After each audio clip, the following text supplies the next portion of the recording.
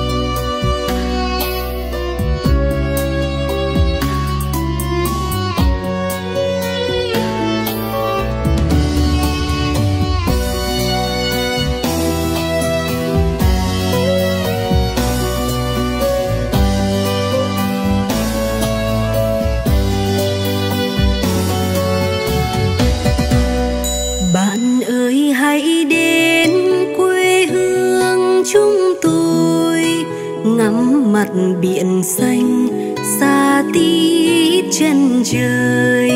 Nghe sóng vỗ giạt rào biển cả, vút phi lao gió thổi trên bờ.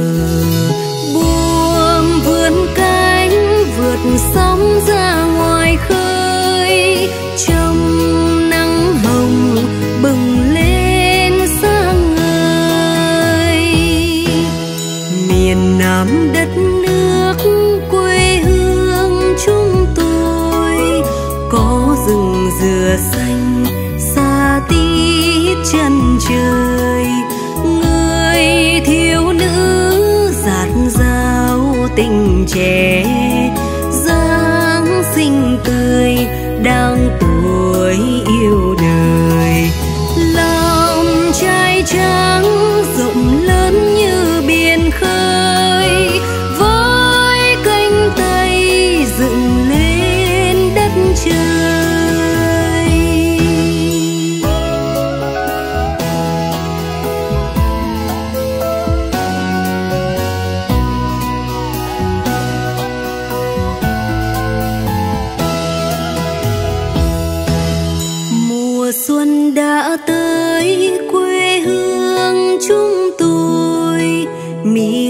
một chè xanh bông trắng lưng đồi, đông xanh lúa dập dơn biển cả.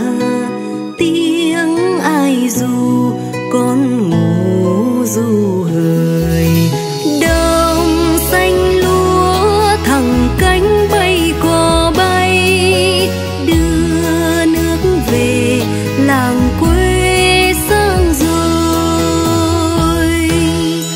Việt Nam yêu dấu xanh xanh lũy tre suối đổ về sông